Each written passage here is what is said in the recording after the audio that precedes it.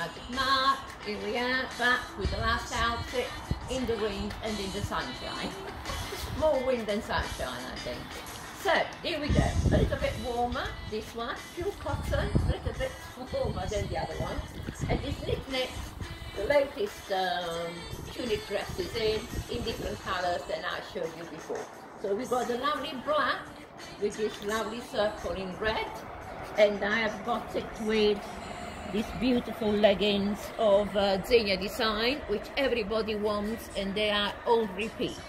So if anybody wants to put their name down for these leggings with the uh, little uh, skirt over the top, I've got small, medium large and extra large coming. So let me know if you're interested because after that I won't reorder again. So here we go and uh, so this is the lovely knit knit as I said. It's very very pure cotton so it's quite cool but it's better for those days that are not all that hot in the sun so here we go. Unlike today which of course is tropical. today is tropical yeah. So here we go. I think these leggings look nice with everything. I showed them with shorter tops. I showed them with long. They look nice with everything. Now I'm going to do something very oh no. So I'm going to take this one off and put another. Is this for all your new okay. male admirers? No, no, no. this is for everybody because look, I'm. Oh. Oh. Du, du,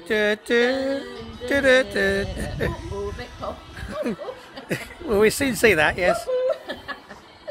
so, here we go. Another look. There'll be a couple of points of interest if you get cold. Come on. See, I've got a very tight, uh, tight vest with this, but because of the skirt and these leggings, look, you can wear anything with it, and this uh, they really fit beautifully. Right. They have been actually the mystery leggings this season. Everybody likes a pair, so there we go. Now we'll go with this beautiful colour, red with orange. What a lovely combination this knit has done. Here we go. Okay. There you go. It looks nice the leggings. And let's the pocket thing. They always look better. There you go. They're in, aren't they? And I'm going to put also a lovely necklace. Of course, it's seamless, this, isn't it? Should we have not done two videos? yeah, two videos in one, you see. Two single, yeah, there we are. And uh, look at that. There you go. Isn't that a great outfit? As if by magic. Or isn't it a great In Magic March. So, here you go.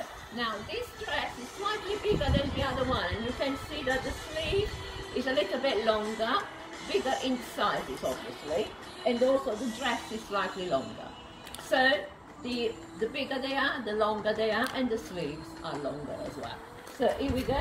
This is this dress on me. I don't mind the sizes. I, I like to wear any of the sizes because that's the style.